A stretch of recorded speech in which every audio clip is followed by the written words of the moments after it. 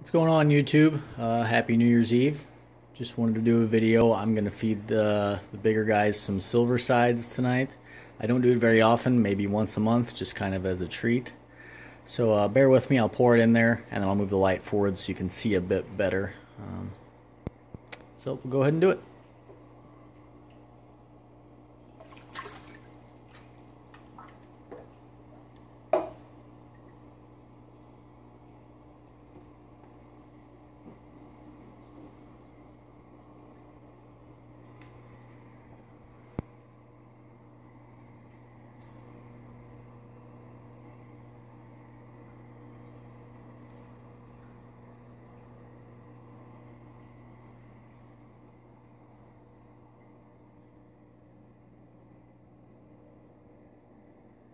Macrostoma's got about all he can handle there. So does the Christyi. Sorry, these silver sides kind of uh, make the water a little funky, so it's going to get cloudy here for a little bit. But these guys really seem to like it. Uh, you know, brings out the predator in them. You know, and it's fun for me. I enjoy it. Something a little different.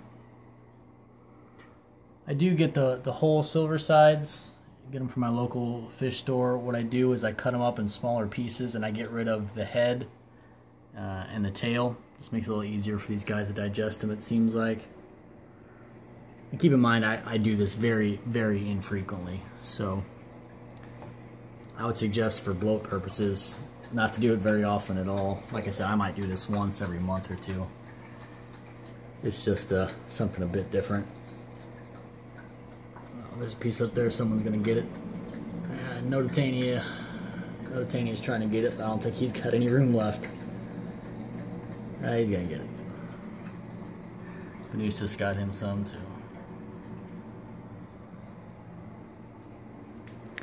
So, everyone's doing pretty good. Got a big mouthful. Even the sapphire got in there and got him a piece.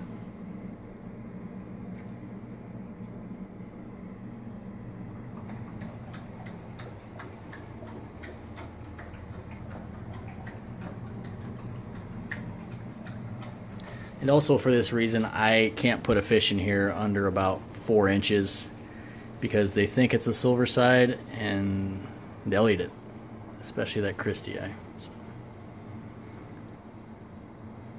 So I hope you enjoyed the video. Um, I've got a few more uh, fish I have on order that should arrive in the next two weeks.